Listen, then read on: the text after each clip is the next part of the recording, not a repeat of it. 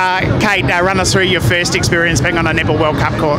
Yeah, man, it feels so good to get that first game out of the way. Um, been looking forward to it ever since the team was named, so um, it was really cool and I enjoyed every minute.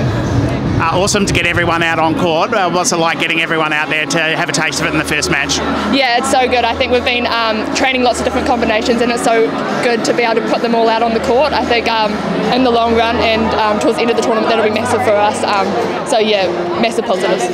Really good start to the match, but you'd probably be a little bit disappointed with the second half and particularly the final quarter.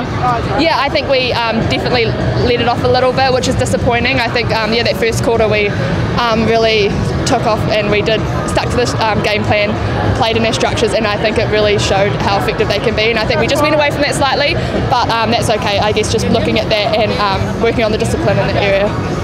Talk about the physicality of the game and how um, strong they were in uh, that second half. Yeah, it's always um, a bit of a shock at first coming up against teams like that. Um, they're so athletic, so physical. I think it's really good for us to come up against them early really good for us, yeah. And they're an awesome team, so it was really cool to play that kind of style. Um, yeah, really enjoyed the challenge.